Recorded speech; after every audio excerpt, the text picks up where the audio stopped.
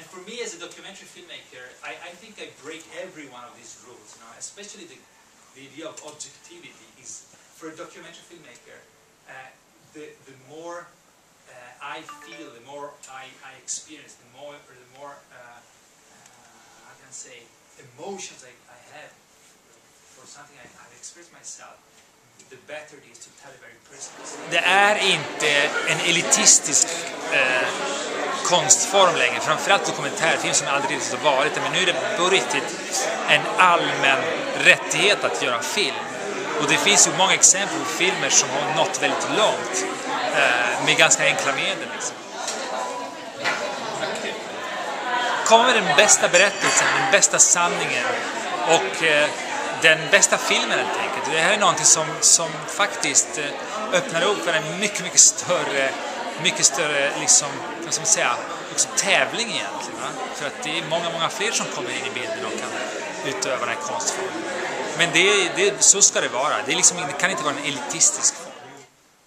some new, fresh visions for for this uh, this world that really, really needs it. So, looking forward. Thank you.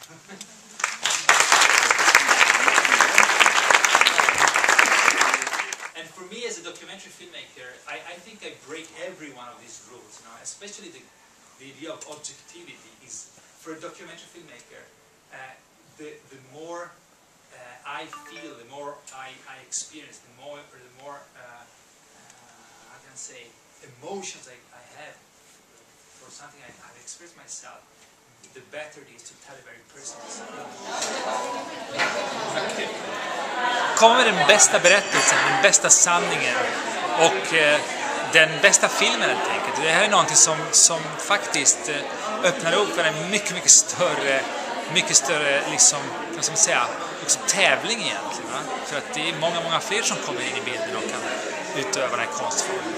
Men det, det, så ska det vara. Det, är liksom, det kan inte vara en elitistisk form. Some new, fresh visions for for this uh, this world that really, really needs it.